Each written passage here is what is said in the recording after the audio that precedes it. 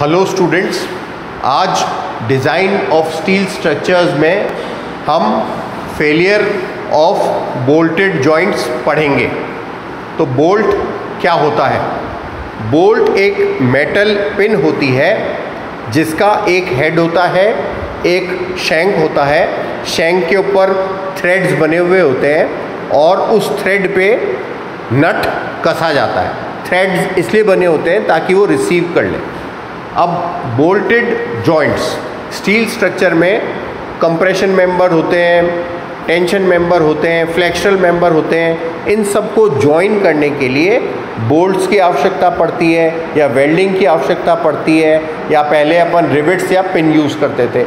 आजकल ज़्यादातर जगह अपन या तो बोल्ट्स यूज़ करते हैं या अपन वेल्डिंग यूज़ करते हैं। अब बोल्टेड जॉइंट्स जो होते हैं जनरली पहले मैं आपको बता चुका हूँ कि दो प्रकार के बोल्टेड जॉइंट होते हैं। एक होता है लैब जॉइंट एक होता है बट जॉइंट तो आज हम पढ़ेंगे फेलियर ऑफ़ बोल्टेड जॉइंट तो छह तरीकों से बोल्टेड जॉइंट फेल हो सकता है।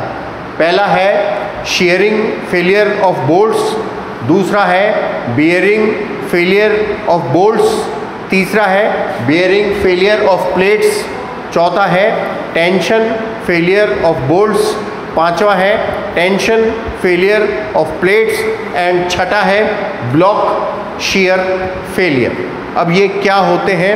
फोर्स कैसे एक्ट करती है? फेलियर किस प्रकार से होता है? ये अपन डायग्राम की सहायता से समझेंगे। पहला है शेयर फेलियर ऑफ़ बोल्ट्स अब ये दो प्लेट्स हैं ये ओवरलैप कर रही है एक दूसरे को।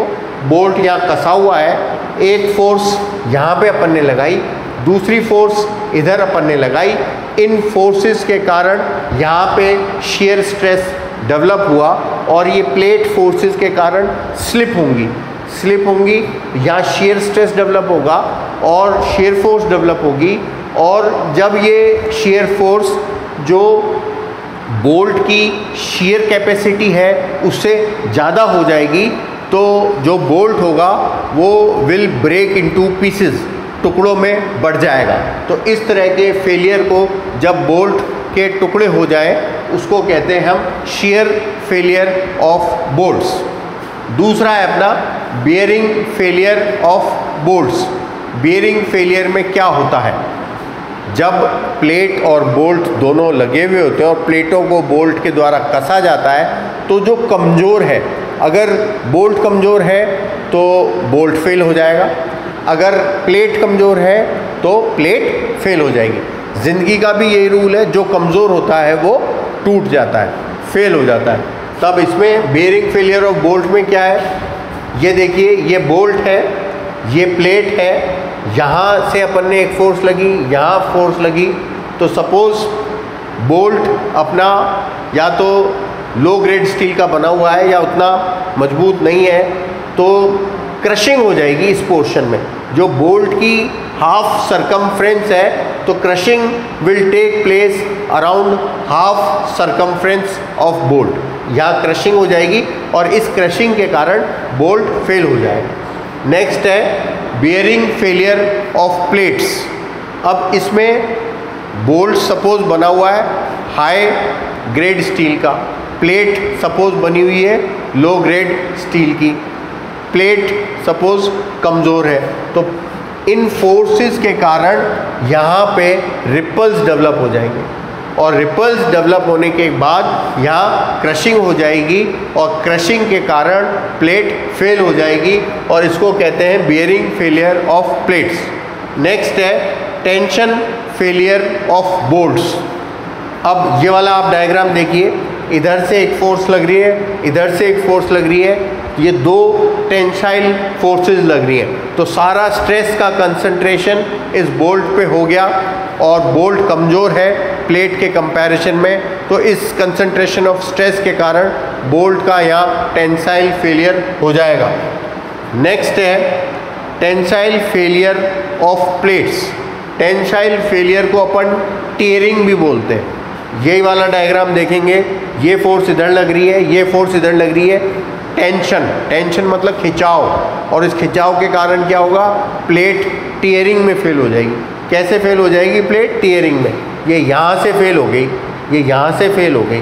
तो ये प्लेट कैसे फेल हो गई? ये प्लेट टीयरिंग में फेल हो गई। इस पोर्शन पे टीयर हो गया और ये टीयर टेंसाइल फोर्सेस के कारण जनरेट हुआ।